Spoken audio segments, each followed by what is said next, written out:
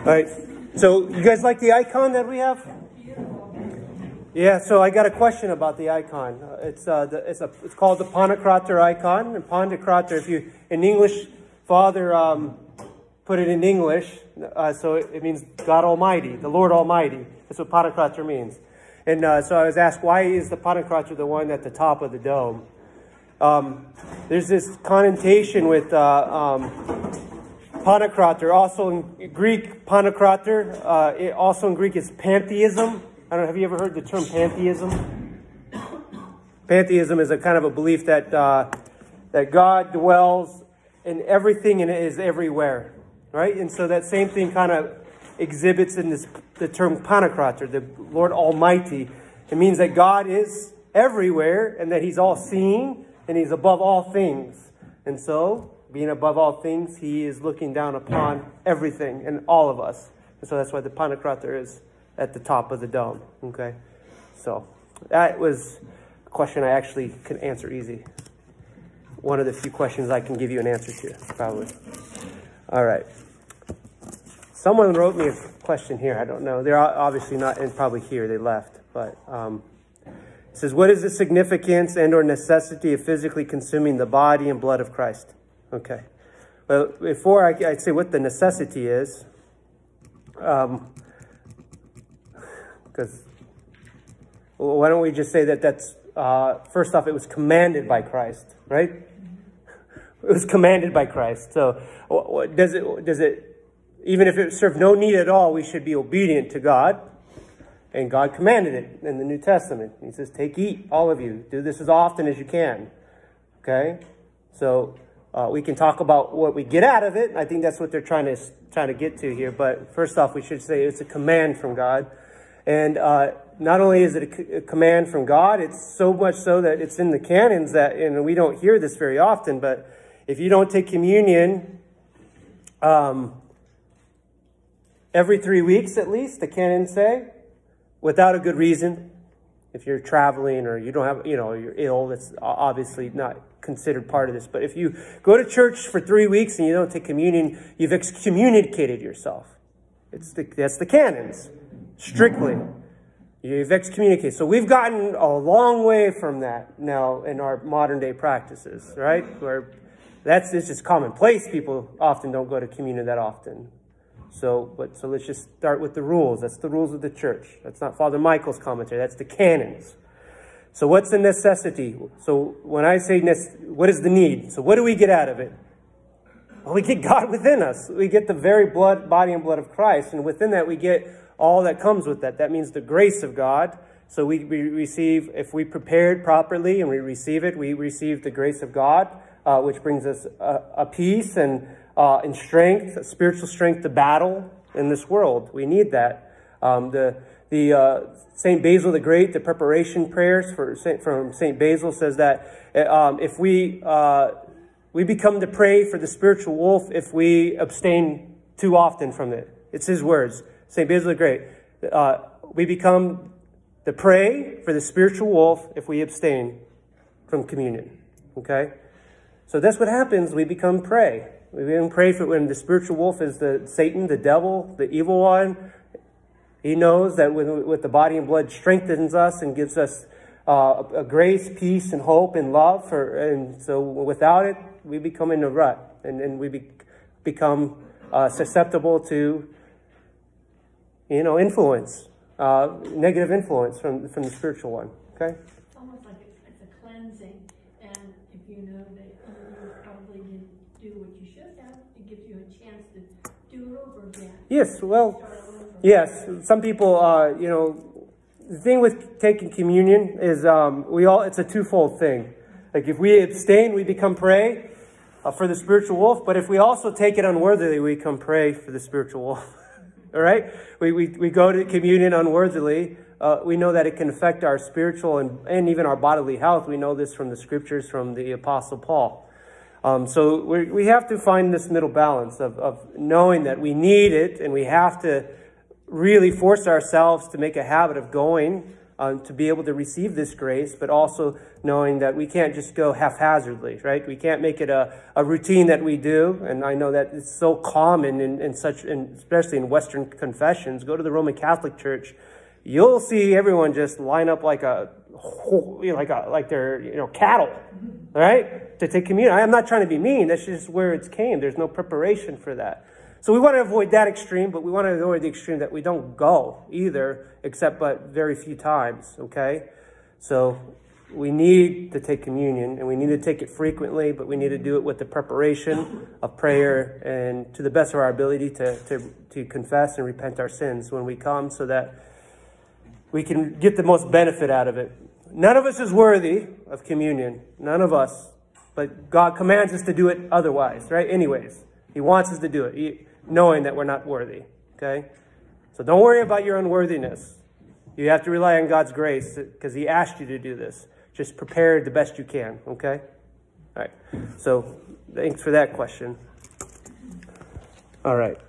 Any other questions? Uh, this, this, this, I got two questions written down. That, so uh, anyone else have a question here that, that I can? Uh, otherwise, we're going to go to trivia day, and, and that's going to spur all the questions. Okay. Yeah. Hey, Cheryl. I have a question that's pretty random. Uh-huh. but, um, something that I've been praying for you to answer to. Somewhere, I think I've heard the words, "The beauty of thy face, O Christ." Is is that do you does that ring a bell to you as far as the service?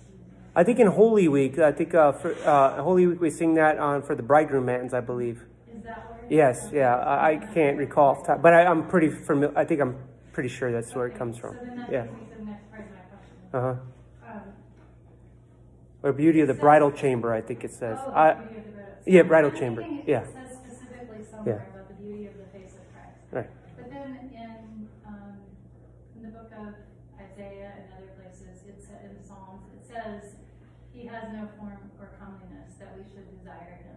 So it seems like Christ was not physically beautiful or attractive, um, but yet we see the beauty in him. Is that, I mean, his beauty being who he is, the divine beauty? I don't know. I don't know if we're judging God by our, our earthly standards with, with beauty. I, I don't. Well, I Um, mean, you know, we see in the icons that, Uh-huh.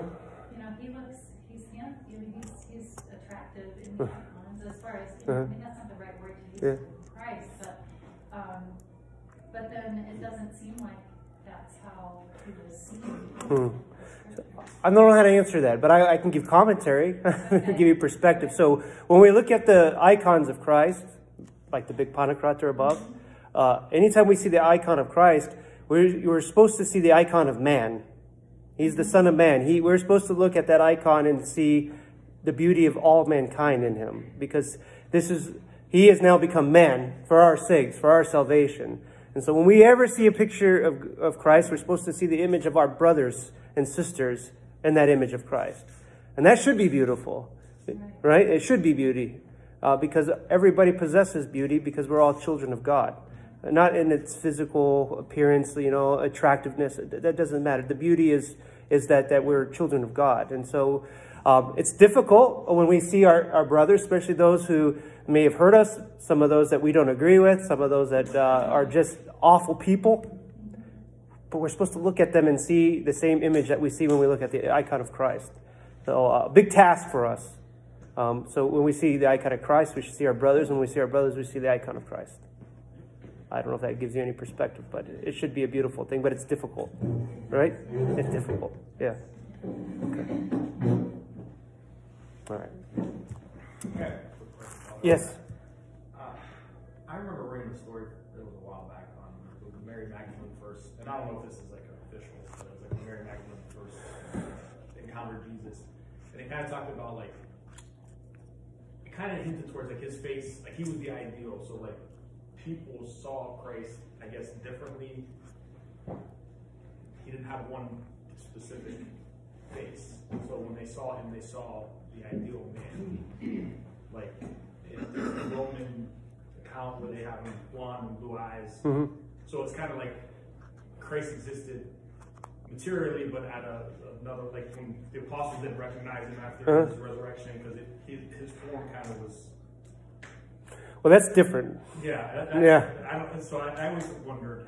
So the human person of Jesus, who was fully human, fully God, so when he walked this earth, he had a, a, a physical feature. Of, of, of- he looked probably like a Semitic man would look, a Hebrew man. And so we can't uh, ignore the historical account of Jesus. He was truly lived on this earth at a specific time and looked a specific way and had a specific ethnicity that comes from a specific background. That, that's undeniable. Now, throughout time, you know, we fall in love with people and we see them for what we see, what we want to see them, and that maybe that's, uh, you know, why people depict them in a different way. I mean, I've seen black Jesus and African icons in Ethiopia. I've seen the, the white Jesus with the blonde hair and the blue eyes. Is that historically accurate? Probably not. I'm 100% sure it's not. But we depict him because we see them, see Jesus in us. Again, we have to see Jesus in us, and that's what they're trying to do. And that's a lot. That, Yeah. that was going to be my next question. Yeah. That's allowable as far as the Orthodox. They give a little bit of leeway Sure. to the Asian churches to kind of. Yeah. I mean, canonically, uh, when it comes to iconography, it's not accurate. But um, when it comes to, you know, just devotion and piety, it's not a big deal. Jesus is everyone, you know. He's, he's beyond, what you know, beyond this earth. So um, as far as your point, after he resurrected, he was different. They didn't, he, and this will be the true with us when we're resurrected, that our, uh, our bodies are going to be different. It'll be as if uh, we didn't go through this fallen earth because, you know, our humanity is, is regulated to the fallenness of, of uh, from, the, from the fall of Adam and Eve. So we, we, we take on disease and death and all, all those things that come with it. But when we are resurrected, now it's going to be as it was. And so we are going to look different. We're going to be different. We'll be more spiritual people, even in physical form. And that's why they didn't recognize Jesus all the time, because he wasn't in his earthly appearance when he was resurrected. He was in his resurrection, like true form of what, what, what a mankind was supposed to be, what, what it's supposed to be before the fall. Right. Wasn't it, Sorry. wasn't it whenever he, when, when, when they, Mary Magdalene or someone wiped his face with a towel? That's St. Veronica. Yeah. Yeah, St. Veronica on his, uh, Face mhm. yes. The. Yes, the mandilion. It's, yeah, Saint Veronica, uh, by tradition, he wiped his face when he was processing the Golgotha with the cross, and um, you see this oftentimes in, and even in Roman Catholics, uh, stations of the cross. It's not a, it's not a service that we do, but you'll see this as part of out his way. He wiped us, and then we. This was sent to King Abgar in Edessa. So the tradition is, and that, that this, and we see this this mandilion. This uh, it's called the. We have a feast day for it, the uh, holy napkin. Um, and this is a, the, the image not made by hands. So, yes, there's a tradition. Uh, we have this, this tradition in the church. Yes. Yeah, and you'll see it's a very popular icon of the face of Christ. Mm-hmm. Yes. Yep. So when Christ was transfigured on the mountain, was he Yeah, and in it's- that same? Yes. Yeah. Yes. But the, but the, the as you if we know by the hymns that they and by the scriptures they couldn't they can only see him as far as they were able to be able to see him with their earthly eyes, right? And that's how we are too. Like we can really can't comprehend God. I got a good question from one of the kids upstairs. They wanted to know, you know, if God was created before, like what? Because I told them God created everything in this world, right? Before there was anything. And they said, well, what did God see? What was there? There was nothing. Could he just see out and see? I said, well, God didn't have, you know, he doesn't have eyes, physical eyes. When we say he sees, you know, it's, uh, we don't know what it is like to be God. like, can we even comprehend to be God, you know, and spirit? So good questions from the kids. They want to understand, but we can't understand. We can't even comprehend what it means to be the pre-eternal force for everything that you in the universe that was before anything was. So our minds just are not big enough to comprehend that, right? So, okay. I got one more question. Yeah, you know what? I like it. I'd rather do that than this because these are for kids. These are student questions, and I was wondering if my adults would be able to do it. I think it was in uh, the Sacred Testament, uh, Repentance and Confession, Uh-huh. where, he talks about that nobody's ever heard the voice of God. Like Moses in the burning bush, that was Jesus Mhm. speaking. It wasn't it like it was Jesus speaking to Abraham, and Mhm. so the, the voice only I don't know if it's certain angels who could hear the voice of God. Um, but then the on Epiphany, when Jesus is baptized and the, the, the, the voice comes and it says, This is my son from whom I'm well Mhm. pleased. So like that's the only time, like, I, I don't understand. So, was that the only time, or did, was that not the voice of God, or did people not hear that? That, that, that was. I don't know if I don't know if what you're referring to, but I'll try to clarify a little bit. So, when when when we get the prefigurements of Christ in the Old Testament, that's what it that's what we see it as, like the burning bush, uh, the uh, um, Abraham, you know, the angels coming and visiting Abraham, this prefigurements of Christ. Remember, Christ is God, Yeah. Right? I know that the Trinity is such a mystery. So, he's not he's he's not the person of God the Father, but he, they don't, they're never separated. There's never a time they were separated. So when God, Jesus acts, God the Father is acting. And so when they see God, Jesus in the burning bush, it's God the Father. It's, I know it's a, it's a really hard to wrap our heads around, um, but those are prefigurements of the, of Christ. And that's God the Father. So they hear God. Um, when we hear the God the Father coming down, uh, yeah, that's him. Uh, I, I mean, it's just a, it, the person of they're, they're truly hearing what God. You know, remember the angels communicate. Remember we went this uh, several months ago. We talked about the we did something on the angelic, angelic hosts and how they don't hear and they can't speak, but they can only communicate between each other by thought. And then when you think, they th- they hear it. Like it, they they know whatever they they can they know what each other are thinking. Do you remember that? Yeah. So, in a sense, we can't comprehend how God chooses to manifest His way to communicate with us, whether they heard it or not. They they felt it and they knew it. That was God, and they God sent this dove descending like in the Holy Spirit. He did it all so that we can comprehend it.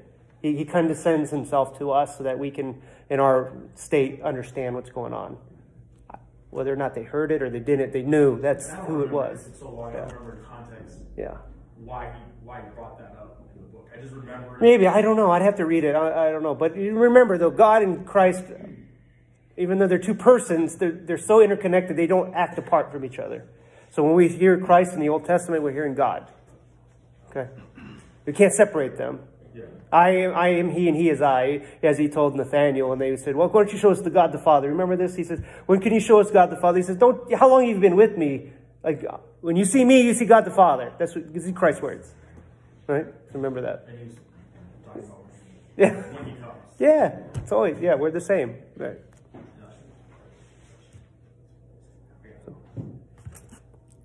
This is good. I'm just glad we know that God talks to us. You know, like if we're, if we listen, right? Like He doesn't physically talk to us. Even now, we can say God talks to me. Like God, God spoke to me. But does He did He speak? Did we hear Him in our ears? Again, it's a, like a, it's a more of a spiritual. Like we, we communicate on, a- on a higher plane, on the spiritual plane. And I would assume that's the same that happened on on uh, Holy Theophany. Though they said like thunder, you know, who knows? Yeah. And it feels like that. I think, I think that's where God is. Yeah. voice like, like thunder. Yes. I think that's where Yeah. it kind of Mm-hmm. Yeah. Threw me off, I. Good. Thank you. I don't know if I clarify anything, but No, I. I just don't want any to get you the wrong idea how who God is in the Yeah. Trinity. The Trinity is very hard to understand. It's Yeah. we got to be consistent with it, though. If we when we say God, we mean Jesus, and when we say Jesus, we mean God. Okay. All right.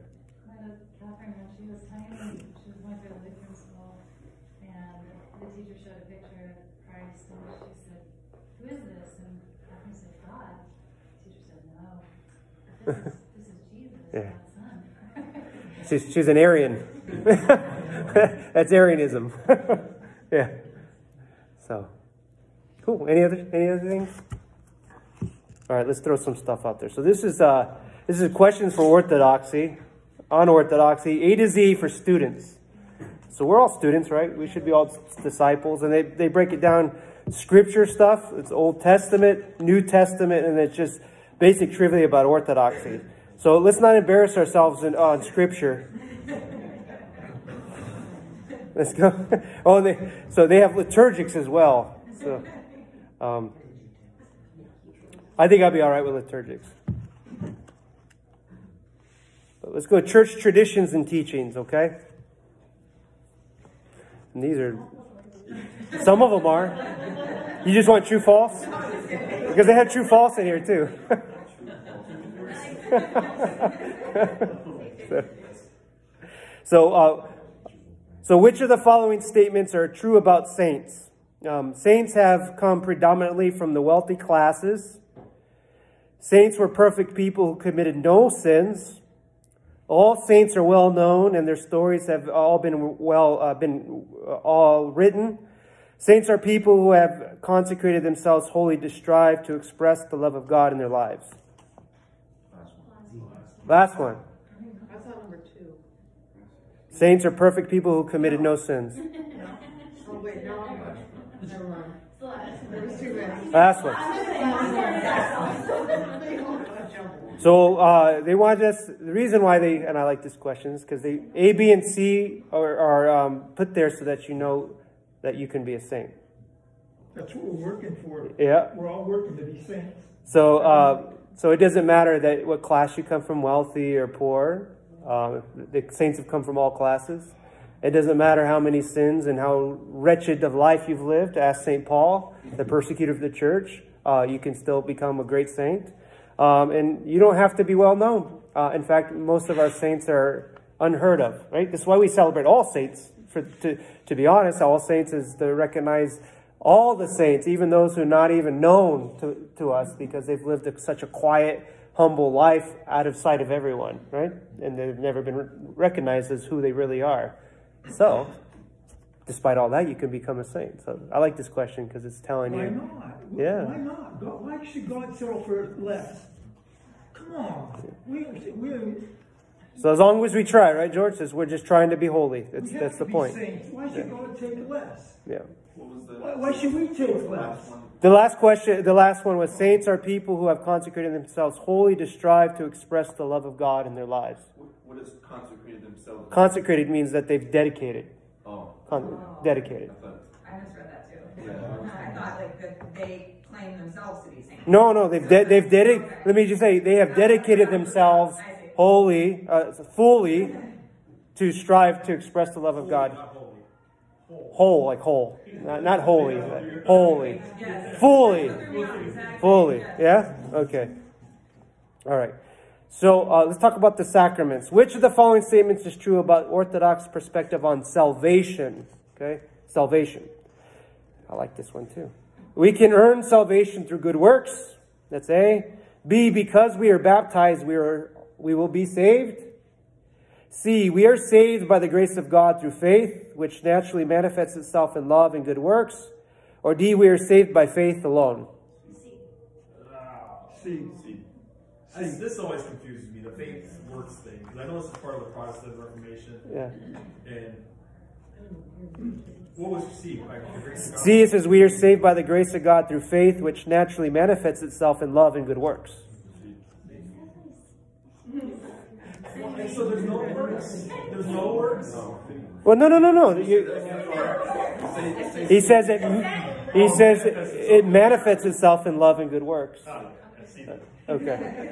So we're not we're not saved by faith alone, right? Because uh, I can believe in Jesus and act like a fool. I said, no, but I truly believe that's God and act like a fool. That's like the Baptist. Yeah. The Reformers. Right, right. Like they, they be like, because I believe, I'm saved. Right. So um, we earn salvation through good works. This is never a teaching ever. Not even in the Catholic Church is this a teaching where the Protestants tend to say it. But we can't we can't just do good works and then and then not really believe. Like you know, just as uh, as we had a good sermon from Father Gehrman today, right? The, the Pharisee did all the great works, but he didn't have the disposition, the, the, the proper heart. And so with all the good works just went for naught, right? And then because we were baptized, we will be saved. So just because we're baptized in the faith, guys, as an infant on the 40th day, doesn't mean we get to walk into heaven, right? So it's all false. Those are all false. We are saved by grace, uh, by God through grace. So God's the one who saves. God is always the one who saves. And we have to have faith. And because we have faith, we will do good works. That's how good, that's what faith and work mean. That's how it works. Right? Because we have faith in God and we believe his commandments and we act to walk that path, naturally we're going to do good works. We're going to do good things.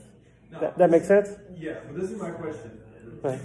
This is and this is why I'm using the trivia. So so we have No, I'm not saying I'm not. I'm saying the question is, so people will say faith. Yes. You, nobody has, most don't have true faith. So it's kind of like without the work, without practicing the work, putting into work, like praying, Mhm. following your spiritual uh, prayer going to church, believing with the poor. How are you expressing your faith? So, so are there people obviously that can be saved who may not necessarily, if you ask them, say, do I believe in Jesus and all that, they say, I don't know about all that. You know, do I actually believe it? I don't know. But they live their life accordingly.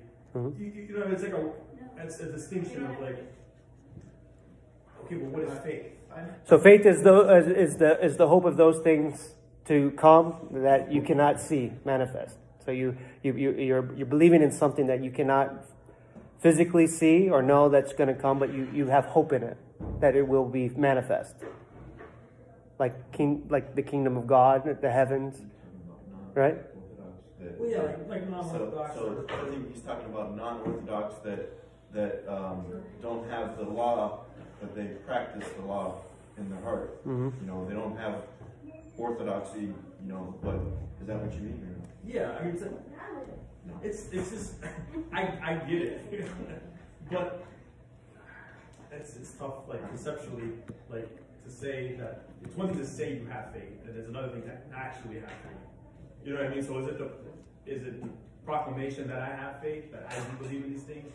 Like, or, because like, Jesus says if you have the faith, actual faith, the size of a mustard seed, you can move mountains. You know what I mean? So like, other than the saints, who has, who actually has faith other than saying I have faith? You, you, Well, well, faith faith grows. So you could have faith in it. It could be weak, right? yeah. You can have faith and be weak.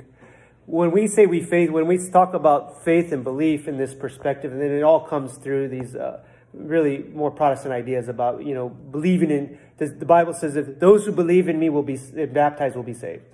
Okay, so when they're saying believe, I mean they believe Jesus is who He says He is. Okay, so all the other mysteries of the church, we may, we may struggle with that. But if we can at least say we believe in Jesus as the Son of God, who, who came into this world as God and man, that's the, that's the basis of our faith. There's a lot more that goes to it, but can we say at least, I believe that that's the Son of God? Right? So, and we can be baptized on that. Then that's, I think, in the scriptures, that's the basis of faith. To believe in Jesus is who he says he is. And who, now, there's a lot more that goes to that that might be kind of, you know, the, our church is deeper than that. Yeah. You know, our theology is deeper than that. And there's going to be a lot more required of us. But that's, that's we grow in that, right? This is when we're baptized, we're given a seed of faith, right? The Holy Spirit is descended upon us. When we're baptized in chrismated, we're given a seed, a kernel planted within us. And that has to be watered and, and, and, and, and plowed and cultivated, and then it grows, grows, and grows. Okay? It's not supposed to remain a seed. But faith, it's still faith, even if it's small. What would that be the works? The works are going to be manifest itself, as I said, because you have some faith. It can be little or small, but it's going to manifest itself. If you have any, even little faith, you're going to have, you're going to do little works. You know, if I really believe in Jesus and all his teachings, I can't walk by somebody who's in need and in suffering and just ignore them, right? I might extend a hand and say, "Hey, okay? Can I, you know, can I help you? Can is something you need?" That's manifest. I'm, I believe who Jesus is. I can't be cold to my brother. That's manifesting our faith, right? That's manifesting your faith. Does that get you into heaven because you did that? No. No, but it it shows who you are, your character, and how you react, because you have faith, even if it's a weak faith. So don't don't think of faith like uh, you know like the saints or you know uh, you're you're not there. It's a process. It's a long process. Uh, if you even have uh, the tiniest faith, that might be enough to get you into heaven, AJ. As long as you have faith, you know. You know so and um, even Saint Paul says that the people, uh, the you know, like those who have no faith at all, don't even know Jesus, will be judged on a different, whole different scale, right? It's, how can it be their fault they didn't believe in Christ? They never heard of him, right? So they're going to have natural law to, that God has kind of implanted in all of us. We know that killing somebody is it's not good, even if we don't believe in Jesus, in Christ. And so we're going to be judged. You know, those who don't have faith, God can still is, is still God wants to save them. God wants to save them, and He's not going to judge. Well, my gosh, you didn't believe me. You didn't believe that I was Christ. Well, He never heard of this Christ. So And sometimes people get the image of Christ, of a, a false Christ, because we believers don't manifest him very well in our lives because we don't have good works, right? We, we're, we're, and sometimes we're cold and sometimes we're, we're mean and judgy. And so people don't want anything to do with the Christ that we say that is truly God. Is that their fault? Because we were bad representatives of Jesus. So it's all it's very complicated. Uh, salvation ultimately is the grace of God. It's a gift of God. But if we truly believe, even the little bits, we're going to have good works, and that's don't worry about anybody else. Okay, and how little or great their faith is. Yeah, my faith is weak too. I have doubts. You have doubts. You have doubts. You have doubts. We all have doubts.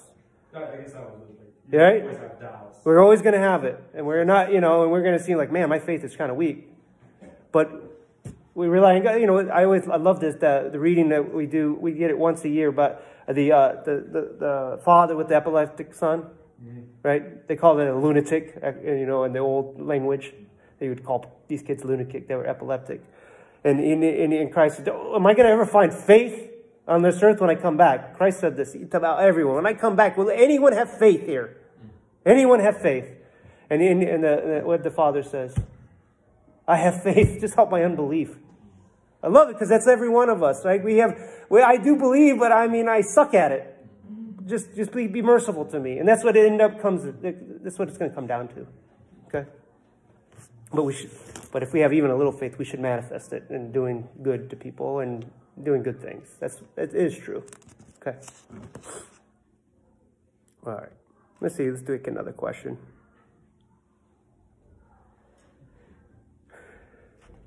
Uh, okay, when we make this, this is an open-ended question. No, no, no uh, multiple choice. When we make the sign of the cross, what do the three fingers we put together represent?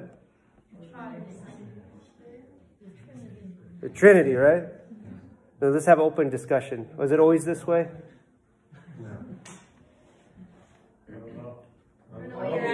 In the history of the church? The history of the church? Yeah. I guess not. The West does it differently, so I don't know. Yeah. I would say yes. Yes. I think the East and the West always did it differently, didn't they? Even before the split? Yeah. So no. There's actually a tome uh, by uh, uh, a, uh, an epistle by uh, I think what, Pope one of the Pope Leos it was before the I think it was in the eighth century, who said that he wrote a tome Pope of, Pope of Rome said this is how we make the sign of the cross. This is how we make the sign of the cross. And so uh, the Catholics changed, uh, for, I don't know, culturally, whatever. But there was also a, there was also a time where these three fingers were the ones that were. They didn't. These three fingers were held, and they had two fingers, right? It's just the opposite. We have these two fingers that are down, right? This is supposed to. You guys know what these ones mean? Two the two natures of Christ. So he was man and God. Yeah. Well, yes. Yeah. And then this is the, and so, but the old believers in the old rite, they used to say that this, and if you'll see this, that there's actually icons of Christ blessing this way, right? You see this. And they bless themselves. This was a big controversy in the Russian church. It made a big split because uh, the Greeks did it a different way. And so the Russians said, well, let's do it. Let's all be the same. We'll do it like the Greeks. And, and they said, wait, no, no, no. This is how we do it. it was only how we did it. And so there's a this split. This is where we came part of their old believer schism in the Russian church. But so there's a, a, a various practices, but ultimately we're, we're crossing ourselves with the Trinity, with the Father, Son, and Holy Spirit. Whether we did it this way or we did it this way, we're, we're blessing ourselves with the Trinity.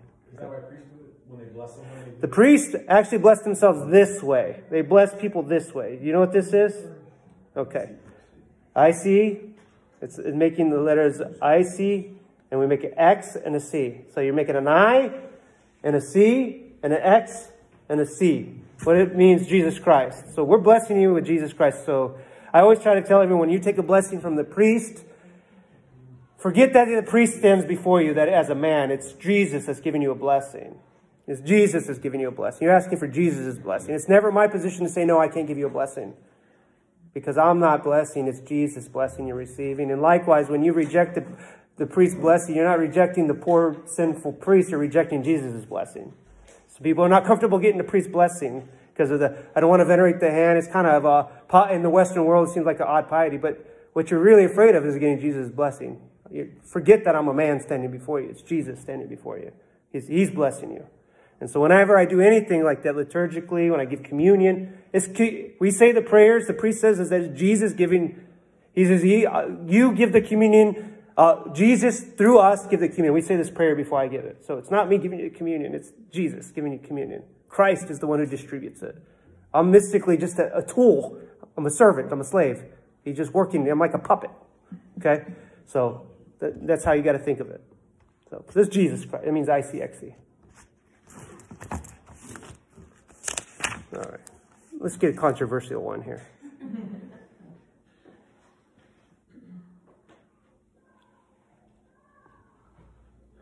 Uh, in the Nicene Constantinople, Constantinopolitan Creed, uh, we state that we believe in a concise but accurate, and uh, we, we believe, we state what we believe in concise but accurate form. Of course, this does not include all things that the church believes. Which of the following is a belief of the church that is not included in the creed? Belief in the Father, the Son, and the Holy Spirit as Trinity. Uh, belief in one holy church. Belief in the creation of the world by God. Belief in the use of icons in the church. Lord, yeah, we don't talk about icons in the creed, do we? Does that mean that we don't believe in it? Yeah.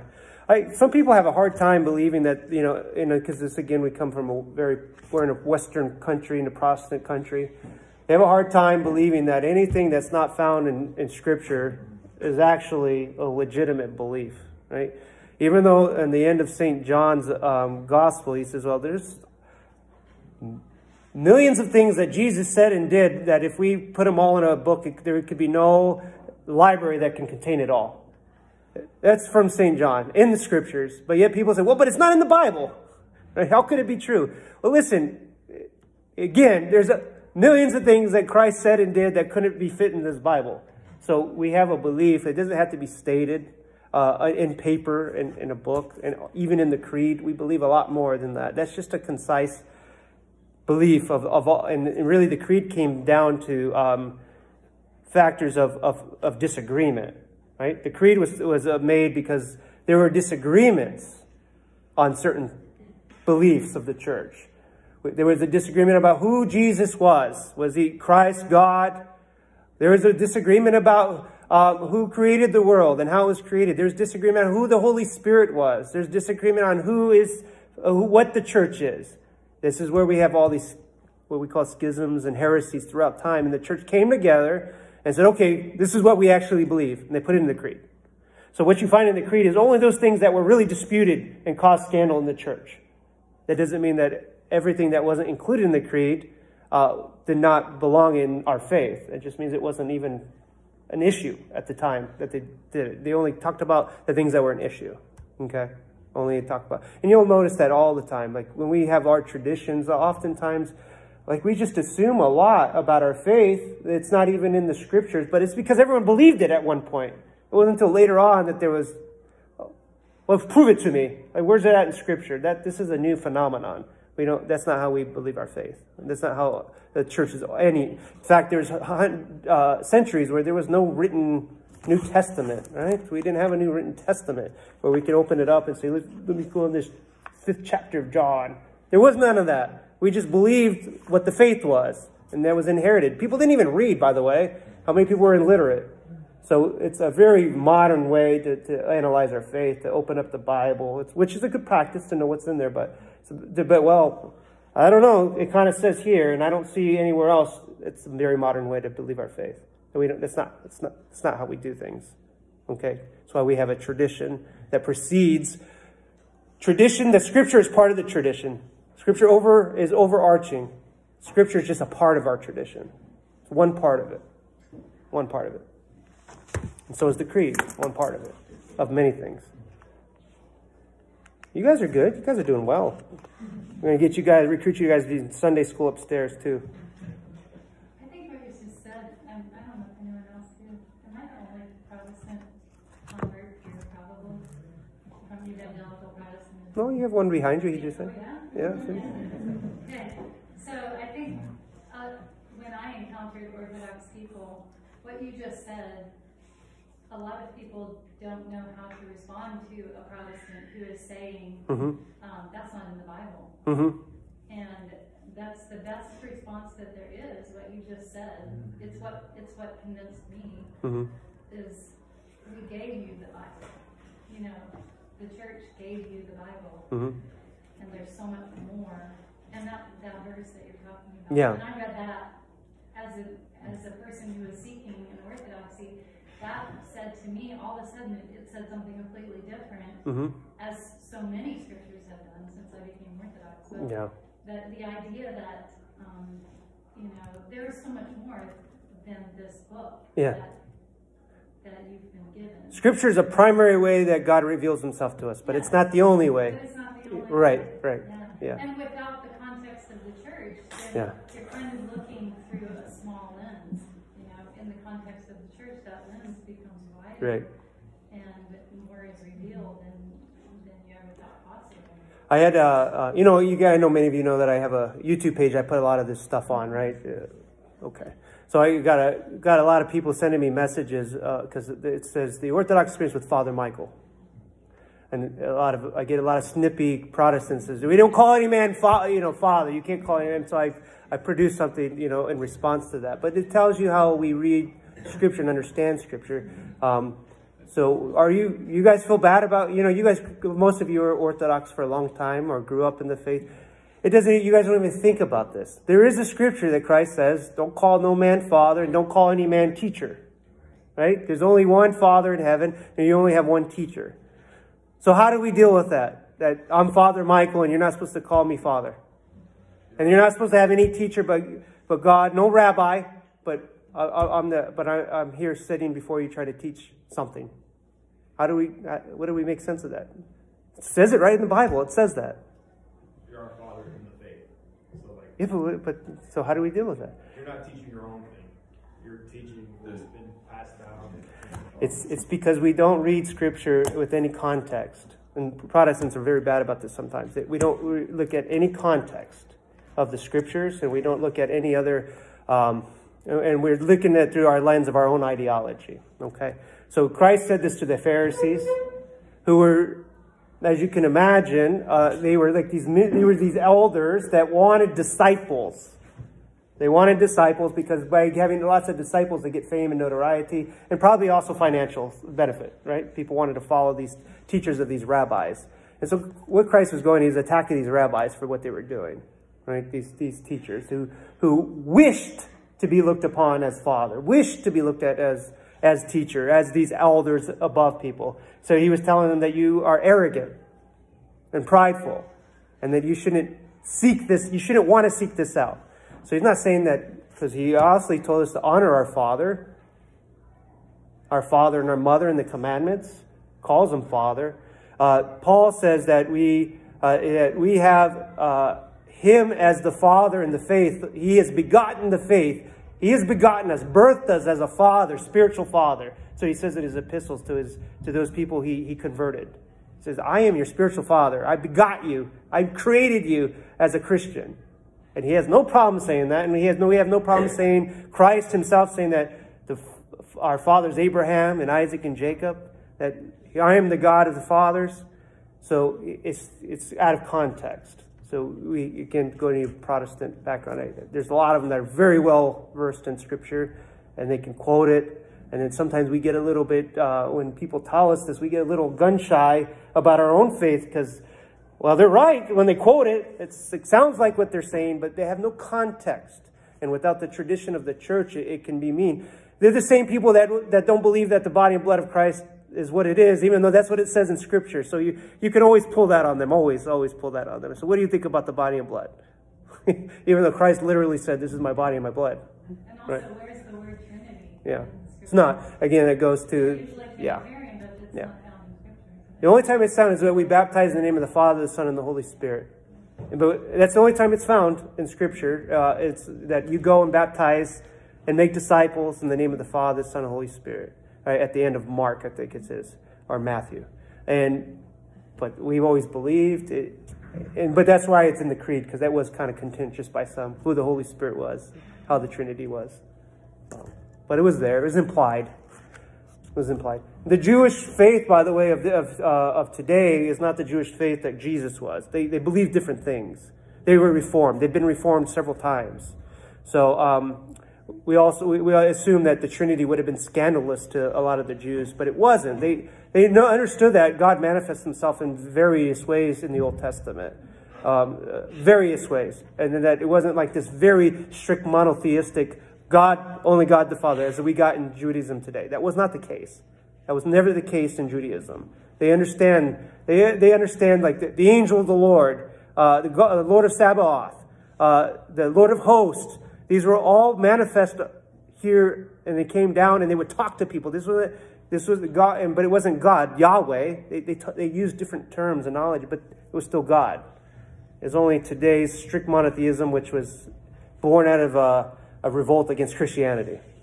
It's not the same. I, I've seen uh, some guy wrote a book. Actually, he was just in town recently. I can't remember his name. A priest, and brought up the point that we're not monotheistic like Orthodox Christians. People think we're like they all group Christians as monotheistics. But we, don't, we don't consider ourselves monotheistics. We believe that there's God with a lowercase g. That there's other. That's per, that's a provocative statement. Yeah, that, that, that's what I found it odd. That's what Yeah. asking. Yeah, it's a provocative statement because we. Uh, he's he, what he's saying is that there's that, that, that we always thought there were other gods, but not in the true sense of a god. That, that there were other spirits that you know. We looked at angels as gods. We looked at um, in the Old Testament. We always say he's the God of gods. Who's who's such a great of God as our God?